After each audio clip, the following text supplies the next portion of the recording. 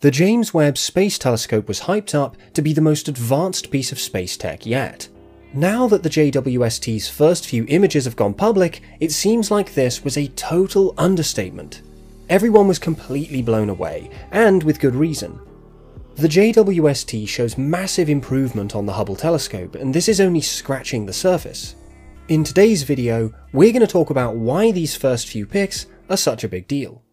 What does this discovery mean for space travel and astronomy? Be sure to stay tuned until the end of this video to find out. After countless delays, James Webb promised to deliver, and so it did. The craziest thing about these images is that they're only a tiny part of our massive universe. It's a big reminder of how infinite space is and how small we are by comparison. It's hard not to be a little taken aback. But with all that aside, let's take a look at these images, shall we? This galaxy cluster, called SMACS 072, is made visible with one of the telescope's features known as gravitational lensing. The most eye-catching part of the image is the center, where we can see the elliptical galaxy in the middle and the smaller white galaxies dotted around it. They're bound together in a huge cluster by gravity, where they bend light from the galaxies light years behind them. This combined mass of galaxies and dark matter acts as a sort of cosmic telescope, which magnifies individual galaxies. Hell, sometimes it makes them appear like mirror images. Examples of this kind of mirroring are found on the orange arcs to the left and the right sides of the brightest cluster galaxy. These are lensed galaxies. Each individual galaxy is shown twice in one arc. Webb's image makes it easy to see their bright cores, which are filled with stars, along with orange star clusters along the edges. Keep in mind though, not all the galaxies in this field are mirrored. Some are stretched and others look scattered by interactions with other galaxies, leaving trails of stars behind them. The tiniest galaxies in this picture are the ones that are the furthest away from us. They don't have the same sort of spiral or elliptical shape like galaxies seen in our local universe. They're clumpier and more irregular.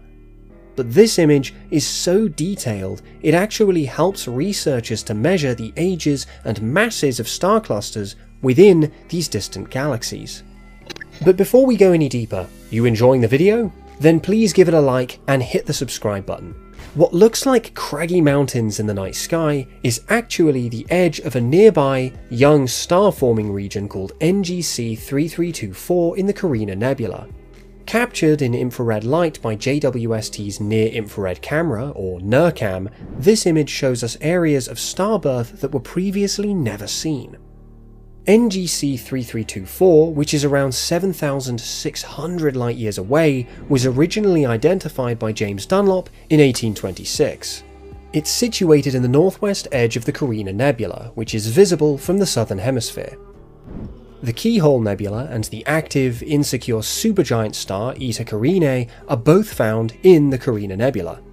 They call this image the Cosmic Cliffs, and it's the edge of a gigantic gaseous cavity within NGC 3324.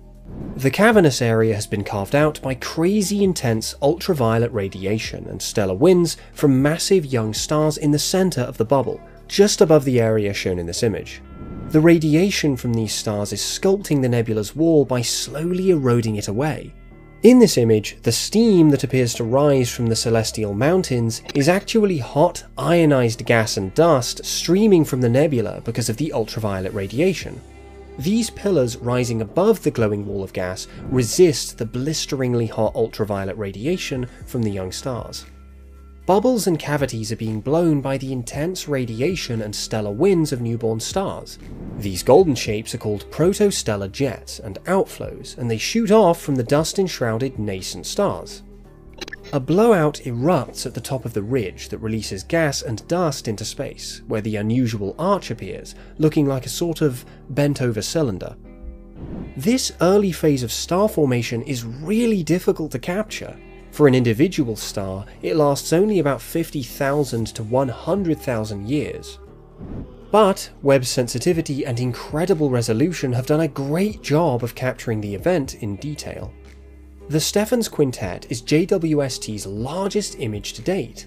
NASA's official Twitter account called it a galactic high five, but it's so much more than that. The image contains over 150 million pixels and it's made up of almost 1000 separate image files. Five galaxies have been grouped together by the NIRCam and Mid-Infrared Instrument, also known as MIRI. The MIRI has three filters, and two of them are combined in this image to better display the hot dust and galaxy structure. The dust and the shock waves created by the galaxies colliding can be distinguished by MIRI based on their colour differences. As opposed to the blue and white colours assigned to stars at NIRCam's wavelengths, MIRI's data shows these distinguishing yellow and orange colours. JWST's amazing infrared vision and high spatial resolution make it possible to spot previously unseen characteristics in this galaxy group. The image is decorated with dazzling starburst regions and clusters of newborn stars. Gravitational interactions cause several of the galaxies to produce sweeping tails of gas, dust, and stars. But the craziest thing is this as one of the galaxies, NGC 7318b, slams into the cluster, Webb's MIRI instrument records phenomenal shockwaves. Red and gold are used to depict the areas surrounding the primary pair of galaxies. The five galaxies of Stephan's quintet are also known as the Hickson Compact Group. It's funny, we call them a quintet, but only four of the galaxies in this image are actually close together. Studying these galaxies helps scientists to better make sense of structures which are seen in a much more distant universe. Pictures of the Southern Ring Nebula give us a side-by-side -side comparison of the images received from the NIRCam on the left and the MIRI on the right. These images are different in colour because NIRCam works with near-infrared light, which is closer to the visible wavelengths that our eyes detect. MIRI goes further into the infrared, picking up mid-infrared wavelengths, the second star appears more clearly in the MIRI image, because this instrument can see the gleaming dust around it.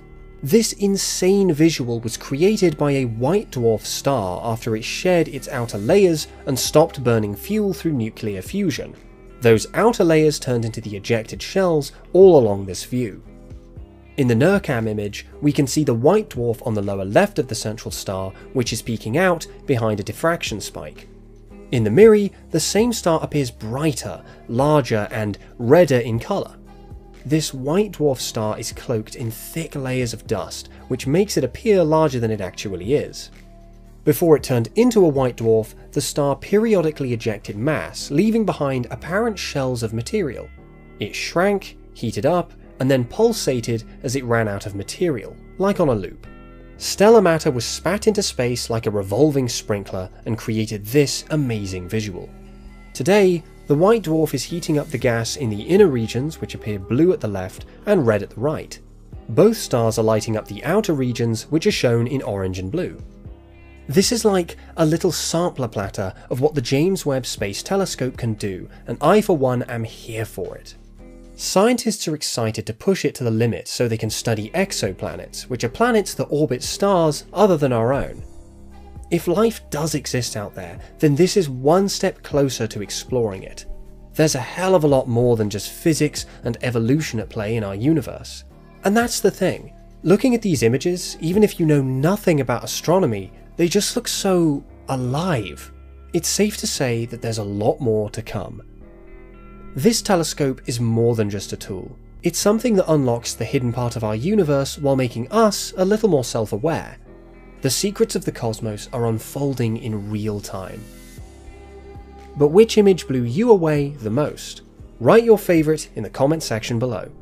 If you learned something new from today's video, then click the subscribe button and hit the bell icon to be the first to see my next video.